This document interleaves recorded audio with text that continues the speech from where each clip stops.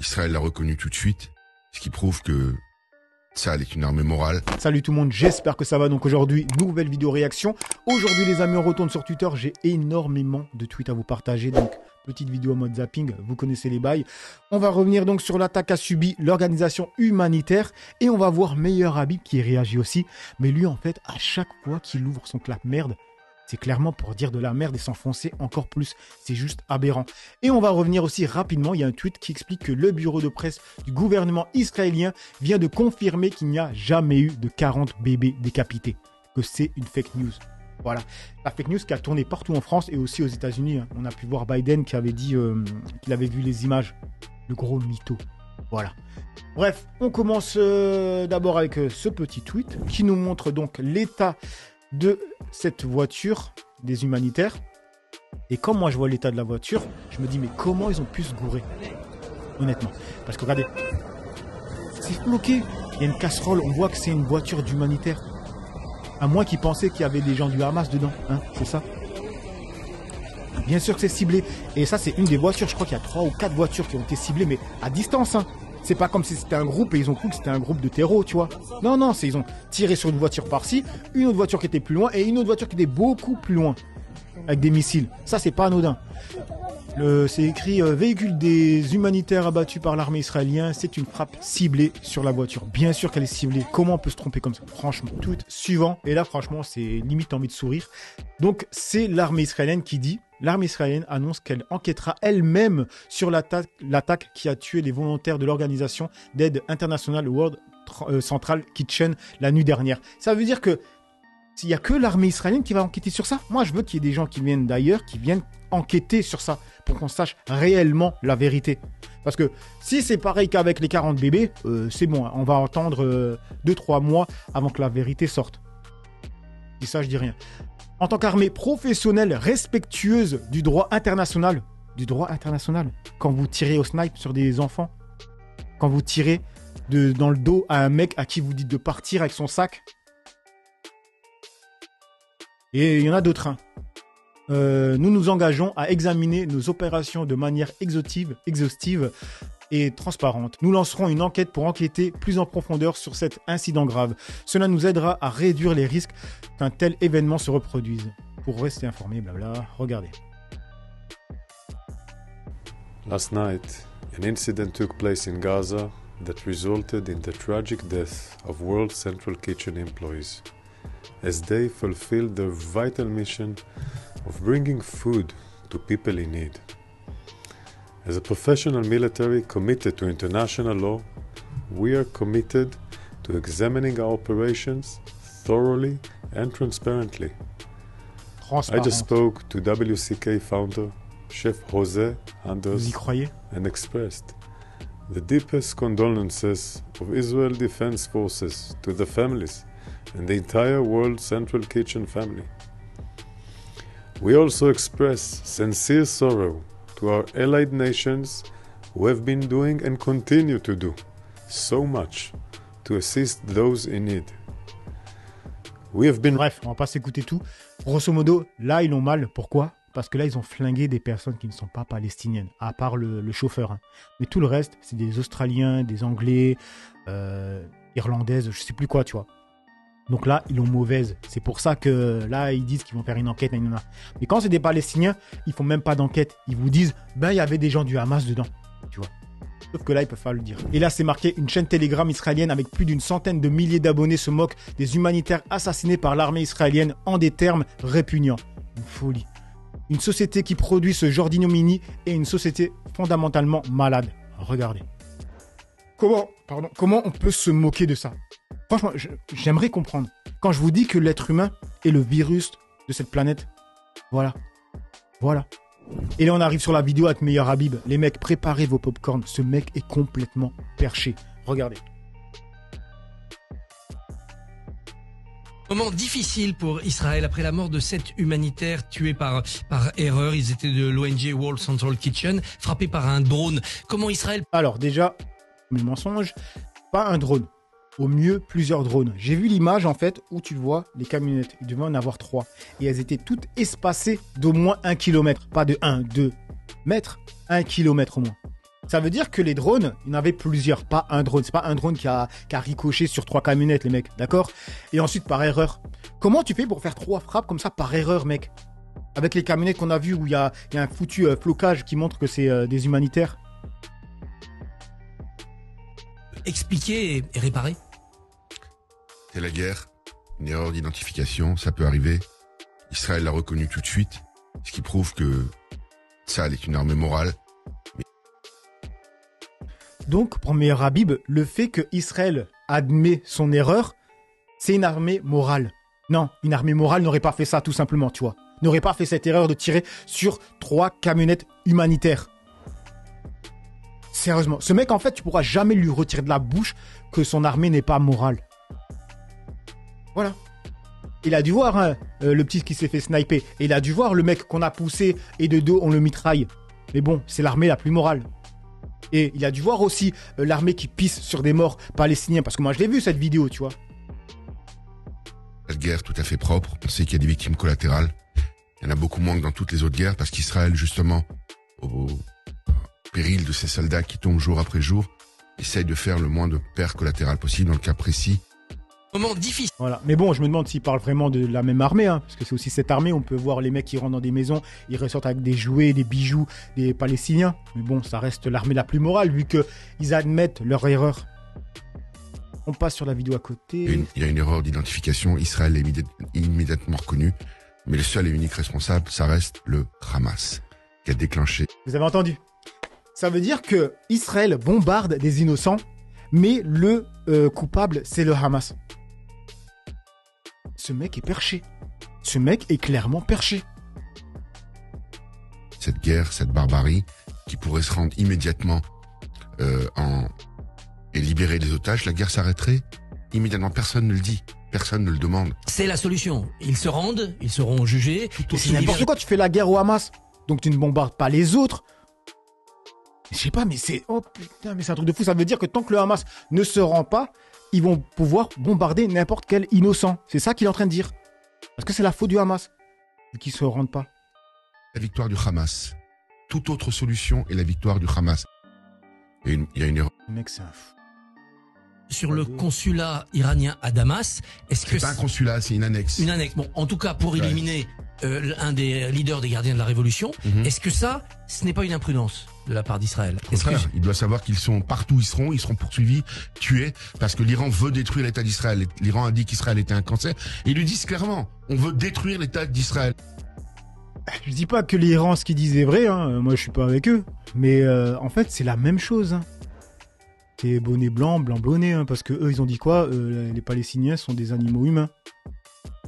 Donc euh, les deux, les deux se vaut. Hein. Et ils n'ont aucun respect de la vie, donc ils en ont rien à foutre de tuer par ailleurs. Oh, mais je l'avais pas vu cette scène. Eh, mais c'est incroyable. Vous entendez ce qu'il dit? Quand il parle, t'as l'impression qu'il parle en fait de l'État israélien, de, de, de la- de l'armée de Sahel, quoi, tout simplement, du gouvernement israélien, tu vois. C'est un truc de fou. Il oublie ce qu'ils font ou quoi? Non mais regardez, non, mais ils lui disent clairement, on veut détruire l'État d'Israël. Et ils n'ont aucun respect de la vie, donc ils en ont rien à Donc eux, ils ont un respect de la vie quand ils tirent au snipe sur des bébés, sur des bébés, pardon, sur des petits. Ils ont un respect de la vie quand ils disent à un mec de se casser, de dos, ils lui tirent dessus. Ils ont un respect de la vie quand ils pissent sur des morts. Hein? Ils ont un respect de la vie quand... Parce que il y a des affaires de, de viol avec euh, cette armée. hein. Il y a des affaires aussi avec le Hamas. Moi, je dis pas. Mais en fait, faut que des gens comprennent que quand je parle de ça, je suis pas en train de dire que le Hamas, euh, c'est bien ce qu'ils font. Moi, je, pour l'instant, j'ai pas de, vidéos, de trucs sur le Hamas. Moi, les vidéos que je vois sur Twitter, ben bizarrement, c'est beaucoup l'armée euh, tout simplement. Et je sais très bien que l'armée euh, euh, du Hamas, hein, ils ont fait des dingueries. Hein. Vous inquiétez pas que je suis pas avec eux, hein, loin de là. Mais est-ce que ce mec, il sait de quoi il parle? De tuer par ailleurs quelques centaines de milliers de Palestiniens. L'objectif ultime, c'est de faire une deuxième Shoah. Ils, organisent un concours de caricature de la Shoah. Chaque année, l'Iran est un... Des... Caricature de la Shoah. Euh, Est-ce que vous avez vu les images des Israéliens, euh, des militaires déjà? Il y avait les militaires israéliens qui se sont grimés en noir et qui ont fait des, des, des voix de singes, des trucs comme ça. Et vous avez vu aussi les Israéliens pendant, je sais pas ce quelle fête, ils étaient grimés en palestinien. Mais de quoi ils parlent? Sérieusement. En fait, ces scènes-là, à chaque fois que je les vois, faut que je les screen. Parce que quand je vous parle de ça, du coup, j'ai pas les trucs pour vous, euh, que ce soit plus parlant, toi, les images. Et maintenant, pas sur cette vidéo. Et d'ailleurs, je vous avais montré une séquence de la même émission avec la même personne qui tenait des propos que je n'avais pas validés. Il avait dit, j'en ai rien à foutre du 7 octobre. Et ensuite, j'ai dit, toute personne qui parle de la sorte, pour moi, a perdu de son humanité. Parce que euh, derrière, il ne faudra pas chuner quand ils vont parler de la même façon des Palestiniens. Pour moi, des victimes sont des victimes, des innocents sont des innocents, tout simplement. D'accord? Maintenant, là, il dit un truc intéressant. C'est pour ça que je vais reprendre cette séquence. Et c'est pour vous montrer que moi, euh, c'est pas parce qu'il y a des gens avec qui je suis pas d'accord. Et quand à côté de ça, ils peuvent dire des choses sur lesquelles je suis d'accord, je vais pas les relayer. Moi, ça me pose pas de problème. Mais à côté de ça, quand ils disent de la merde, je le dis aussi. Tu vois? Ok, let's go. Je n'ai pas de parti pris. En revanche, j'ai un parti pris lorsque véritablement j'assiste à une injustice. Et ce qui se passe, donc je ne suis pas surpris par la position de Pascal Pro qui a peur effectivement de, de se mettre à dos Serge Nedjar, éventuellement, ça, ça, ça va de soi. Euh, alors que euh, Pascal Pro, franchement, dans son honnêteté, il aurait pu prendre posi- position quand même contre Israël. Euh, voilà. Mais bon, euh, chacun son truc. Je, je, je ne lui jette pas la pierre, comme on dit. Voilà. En revanche, voir toutes les télévisions être au service d'Israël, ça va quoi. C'est, c'est... C'est ça le truc. C'est pour ça que j'ai commencé à faire des vidéos. C'est qu'à un moment donné, moi, j'étais pas devant la télé, c'est plutôt sur les réseaux sociaux. Du coup, tu as les rediffs de d'émissions télé françaises, tu vois. Donc, euh, CNews, BFM TV, TF1, France 2, la 6. Et en fait, tu es là, tu vois des rediffs, des petits morceaux. Tu dis, mais il se passe un truc là en France, là. Il y a un vrai problème. Ils sont tous ensemble avec Israël, tu vois. C'est chelou. Et après, tu grattes, et là, tu vois des, des vidéos que ces chaînes d'infos ne relaient pas, et là, tu, tu percutes, tu dis, en fait, il y a une vraie vérité euh, parallèle, toi, qu'on veut pas montrer. c'est- c'est absolument pas normal. Euh, Il y a eu un débat entre Natacha Polonier et BHL la semaine dernière, vous avez vu, ça a Mais été... BHL Euh, c'est- est une ordure, je l'ai déjà dit. Et déjà, le truc avec euh, Natacha et BHL, en fait, que maintenant, il y a certaines personnes qui osent un peu parler, c'est juste que c'est trop gros. Les mecs, c'est juste que c'est trop gros ce qui se passe. Il y a tellement de morts. Regardez, les humanitaires, il y a tellement de morts que maintenant, ils peuvent pas fermer les yeux, en fait. C'est trop abusé. Quand on sait le nombre de bombes qui a été lâché, le nombre de morts, quand ils comparent à côté de l'Ukraine. Mais les mecs, à un moment donné, même si, avec la meilleure des, bonnes fois, si on peut dire, on ne peut pas cacher ça. C'est pour ça a certaines personnes maintenant, elles commencent à parler, tu vois. BHL, d'un côté, euh, soutenez Israël, on, on est attaqué, et de l'autre, il va soutenir des, des nazis ukrainiens. Et ça fait deux ans que ça dure. Mais ce mec est fou. Mais quand vous voyez que c'est un agent des Américains euh, et des Israéliens, partout où il passe, il sème la guerre, de toute façon. C'est une ordure. Bernard-Henri Lévy est une ordure. On Voilà, lui- on va rester sur ça. On va rester sur ça. Je trouve que c'est correct, c'est propre. Bernard Henry, Bernard Henri Lévy est une, comme il a dit si bien. D'ailleurs, euh, Natacha dit quoi C'est une ordure. Bernard-Henri Lévy est une ordure. Ambulante. D'ailleurs, euh, Ambulante, voilà, c'est ça. Bref, on passe sur le tweet suivant. Ah, encore du meilleur abus. Je m'en souvenais plus. C'est quoi ça? Attendez, on va écouter. Il n'y a pas de génocide. Israël est en guerre et sale, et c'est pas des mots. Et l'armée la plus morale du monde. Je vous invite à montrer une seule, une seule. Non, mais il y a des euh, couloirs humanitaires, je de- le de- dis de- tous les de jours, Ça qui sont qui violent des femmes ou qui tuent volontairement des Vous avez entendu. Donc, pour lui, Israël est l'armée la plus morale parce qu'il n'y aurait pas de vidéo de l'armée en train de violer des femmes. Je vous ai montré, il y a des articles, hein, il y a des choses qui commencent à sortir. Donc pour lui, on va réécouter parce que ce mec, c'est- une dinguerie. hein. guerre est sale, et c'est pas des mots. Et l'armée la plus morale du monde. Je vous invite. Il n'y a pas de génocide.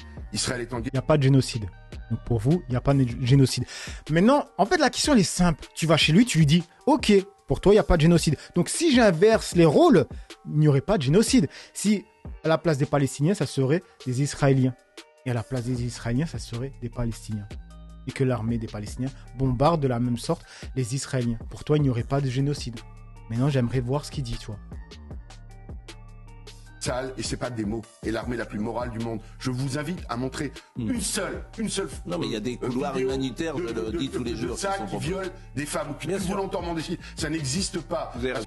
Donc, si on n'arrive pas à montrer des vidéos de l'armée qui viole des femmes, c'est une armée la plus morale. Mais ce mec, il est complètement tarbé, c'est juste pas possible. On passe sur ce tweet, c'était quoi ça? Ah oui, mais ça, c'est une vieille vidéo, mais je sais pas pourquoi je l'ai là. Peut-être pour qu'on se rappelle de Pascal Pro, Voilà, Pascal Pro, comment il réagit. Vous vous souvenez, à la radio, il avait euh, face à lui un- une personne à qui il a posé une question. Est-ce que vous condamnez ce que le Hamas a fait? Et ensuite, il a, il, a dit, euh, il a dit oui, vous répondez juste oui ou non. Et le mec, il a dit ok, on joue à ce jeu. Donc vous aussi, vous allez répondre oui ou non. Et du coup, le mec, il lui a posé cette question. Pascal, nous avons dit que vous posez une question, je pose Vous une avez question. raison, vous avez raison, je me plie à votre règle. D'accord. Est-ce que vous condamnez, vous condamnez la tuerie des Israéliens à Gaza Des civils. Déjà, il a- bugué, mais de fou malade. C'est une question compliquée. Est-ce que vous condamnez des bombardements sur les civils à Gaza? Est-ce que c'est compliqué? Il a bugué, il a regardé son pote, et là, son pote va l'aider. J'ai envie d'intervenir. Je suis Ah, désolé. Louis, Rag- Louis de Ragnel veut intervenir. Louis, Non, c'est vous qui répondez. Pardon, mais en fait, qui a attaqué qui? Enfin, ils se défendent, là, les est-ce Israéliens. que vous condamnez les bombardements d'Israël sur les civils de Gaza? Mais qui a Déjà, qui a attaqué qui? On va revenir, on peut très bien dire, ça n'a pas commencé le 7 octobre, donc euh, déjà, à partir de là, tu ranges ça. Mais on a posé la question à qui? À Pascal Pro. Et Pascal Pro, il n'ose pas parler. Pourquoi? Comme l'autre l'expliquait très bien, il ne veut pas se mettre à dos. Hmm Non, on a dit oui, non. On Eh n'a ben- rien dit d'autre. Eh ben moi je vous, dis, je, je- je vous dis que je ne peux pas les condamner puisque ça s'appelle une non, donc réponse. c'est non. Donc vous avez dit non. Bah oui. Ok, c'est bon. Donc on continue si vous voulez, il n'y a pas de problème. Voilà, et ça, faut se rappeler. Ça, faut se rappeler que Pascal Pro n'a pas condamné les bombardements de- d'Israël sur des innocents. C'était ça la question. Est-ce que vous condamnez les bombardements sur des innocents à Gaza? Il a dit non. Ça, faut se rappeler de ça. Voilà pourquoi je l'ai gardé. Et là, on passe sur le dernier tweet et c'était sur quoi? Ah oui, les 40 bébés. Regardez, le bureau de presse du gouvernement israélien vient de confirmer officiellement qu'il n'y a jamais eu 40 bébés décapités, ni à Kfar Aza, ni à aucun autre kibbutz. Et là, c'est une sorte de zapping de toutes les émissions qui nous ont rabâché les 40 bébés. Regardez. Donc c'est un plan média, hein, vraiment organisé par le- par l'armée israélienne, pour montrer l'indicible. Écoutez, je vais, je vais vous dire ce qu'ont dit les reporters qui ont vu les images. Les enfants et même les bébés ont été tués également. Et de quelle manière Des femmes, des enfants, 40 bébés décapités. Des femmes, des enfants, des bébés décapités. Elle a reçu une balle dans le dos et elle protégeait son bébé, un petit bébé d'un ou deux ans, un bébé qui a été décapité. Des bébés décapités, vous nous confirmez cette information, et de nombreux bébés décapités.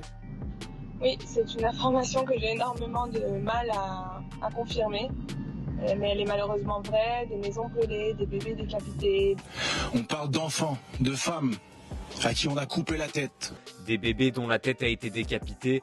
Pictures of terrorists beheading children. Là, parce que je vais flouter, hein, on voit LC, CNews, euh, Even4, Break News, euh, CNN, euh, toutes les chaînes disaient la même chose, les mecs. C'est pour ça quand je vous disais que je regardais les chaînes, en tout cas je regardais les rediffs, les rediffs, et je me disais, mais attends, c'est pas possible, ils vont tous dans le même sens. C'est incroyable quand même. La preuve, regardez par exemple avec les 40 bébés. Tous. Et là, Biden qui dit, oui, j'ai vu les images, ce gros mytho.